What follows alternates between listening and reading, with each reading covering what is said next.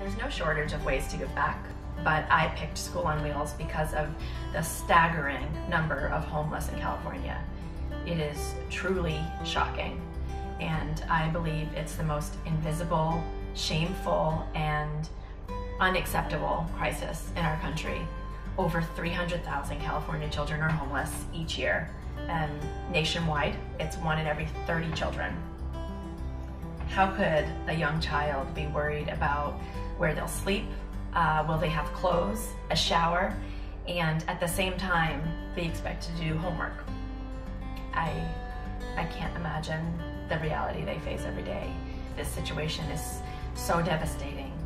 The damage is unmeasured, but it is for sure impacting our youth's potential, their future, especially when they drop out of school. So being able to tutor a child and fight homelessness through education has been one of the most fulfilling experiences of my life. I feel like every day the word change becomes just